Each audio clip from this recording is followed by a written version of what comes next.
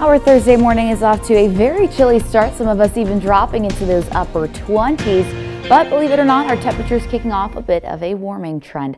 As of right now, we're seeing clear skies. Still waiting on that sun to rise, but once it does, we'll see lots of it, at least for the first half of our day before some cloud cover joins us later this afternoon. In terms of those temperatures, you definitely want to bundle up. Looks like I picked the right day to wear these dresses as well. Matching the map behind me as temperatures have dropped into the low 30s, 30 degrees over in Mount Morris, 32 in Roscoe, 31 over in Freeport. May still drop a degree or two before we end up climbing into the mid to upper 50s today as we'll see that sun just early on. So we'll see some sunshine within the next couple of hours as those temperatures climb out of the 30s through the 40s, about 55 degrees at the 3 o'clock hour. That's when that cloud cover will slowly start to join us, transitioning to mostly cloudy skies.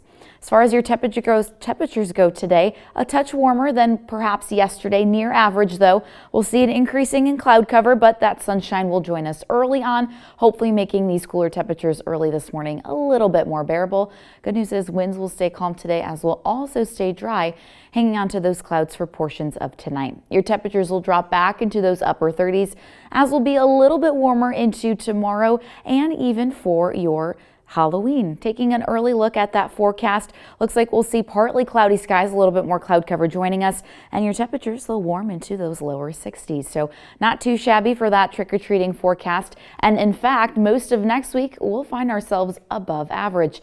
May even be talking about the lower 70s returning. As you can see, most of Illinois is on track to see above average temperatures into the first week of November as we'll slowly start to warm things up, really starting with today.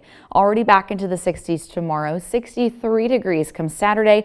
Lots of sunshine. Again, we'll see those clouds increasing later today. We do have a chance for some showers into Sunday. Gonna have to keep our eyes on that as those showers will exit early into Monday.